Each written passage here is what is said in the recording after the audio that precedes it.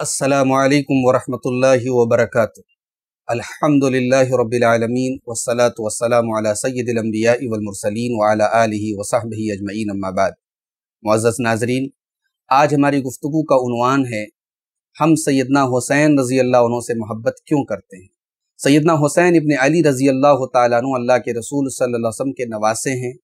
آپ کی صاحبزادی حضرت فاطمہ، جو آپ کی سب سے چھوٹی اور سب سے لاڈلی بیٹی ہیں، ان کے بیٹے ہیں۔ حضرت علی ابن ابی طالب کے بیٹے ہیں اور اللہ کے رسول صلی اللہ علیہ وسلم کی بڑی محبوب ہستی ہے۔ آئیے دیکھتے ہیں ان کے فضائل میں اور اللہ کے رسول صلی اللہ علیہ وسلم سے ان کی جو محبت تھی، اس کے سلسلے میں کون کون سی احادیث وارد ہیں۔ حضرت علی رضی اللہ تعالیٰ عنہ خود کہتے ہیں، مسند احمد کی سیون سیون فور نمبر کی حدیث ہے، کہتے ہیں کہ میرا بیٹا جو حسن ہے، وہ اللہ کے رسول صلی اللہ علیہ وسلم سے بالکل مشابہ ہے۔ اللہ کے رسول سے ملتا جلتا ہے مابین الصدر الراس سینے سے لے کے سر تک کا جو حصہ ہے، اتنے حصے میں میرا بیٹا حسن رسول سے ملتا جلتا ہے۔ والحسین اشبہ الناس بالنبی صلی اللہ علیہ وسلم ما اسفل من ذلك اور سینے سے لے کر کے پورے پیر تک کا جو پورا حصہ ہے، آدھا جسم ہے، وہ حسین کا پیارے نبی صلی اللہ علیہ وسلم سے ملتا جلتا ہے۔ حضرت حسن اور حسین پیارے نبی صلی اللہ علیہ وسلم جب نماز پڑھتے تھے، تو آپ کی پیٹھ پر سوار ہو جاتے تھے۔ حضرت عبداللہ ابن مسعود کہتے ہیں، یہ تبرانی کی المجم الکبیر کی دو ہزار چھ سو چوالیس نمبر کی حدیث ہے۔ کہتے ہیں کہ اللہ کے نبی نماز پڑھ رہے تھے اور حسن و حسین آپ کی پیٹھ پر تھے۔ لوگوں نے دونوں کو ہٹانے کی کوشش کی۔ تو پیارے نبی نے فرمایا دعو ہما بے ابی و امی، ان دونوں کو رہنے دو، میرے ماں باپ ان کے اوپر قربان ہوں۔ اسی طریقے سے حضرت ابو حریرہ کہتے ہیں، یہ مسند احمد کی دس ہزار چھ سو انسٹھ نمبر کی حدیث ہے۔ کہتے ہیں کہ ہم اللہ کے رسول صلی اللہ علیہ وسلم کے ساتھ عشاء کی نماز پڑھ رہے تھے۔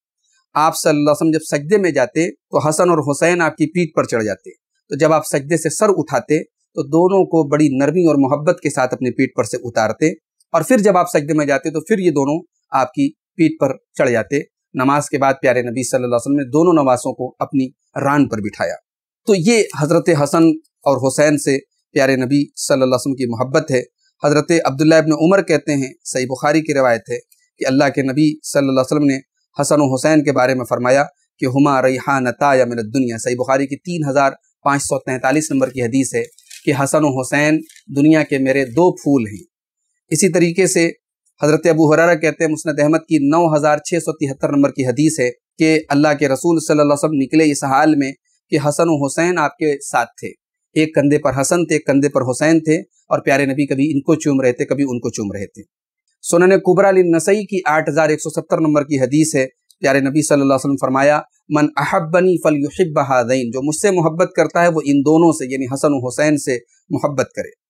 ابن ماجہ کی ون فور تھری نمبر کی حدیث ہے۔ پیارے نبی صلی اللہ علیہ وسلم فرمایا، من احب الحسن والحسین جو حسن و حسین سے محبت کرتا ہے فقط احبنی، وہ مجھ سے محبت کرتا ہے۔ ومن ابغضہما فقط ابغضنی۔ اور جو ان سے بغض رکھتا ہے، وہ مجھ سے بغض رکھتا ہے۔ تو معزز ناظرین، یہ حضرت حسن و حسین سے پیارے نبی صلی اللہ علیہ وسلم کی محبت ہے۔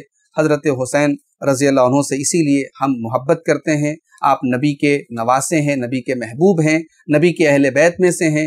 اور اللہ کے نبی کی محبت کا تقاضا ہے کہ ہم اللہ کے نبی کے صحابہ سے بھی محبت کریں اور آپ کے اہل بیت میں سے بھی محبت کریں۔ گویا حسن و حسین کی محبت ہمارے ایمان کا ایک حصہ ہے۔ ہم حضرت حسین رضی اللہ عنہ سے نہ صرف یہ کہ محبت رکھتے ہیں، بلکہ علامہ ابن تیمیہ کے بقول، ان تمام لوگوں کو ہم لانت کا حقدار سمجھتے ہیں، جنہوں نے حضرت حسین رضی اللہ عنہ کو قتل کیا، یا ان کے قتل میں تعاون کیا، یا ان کے قتل سے راضی ہوا۔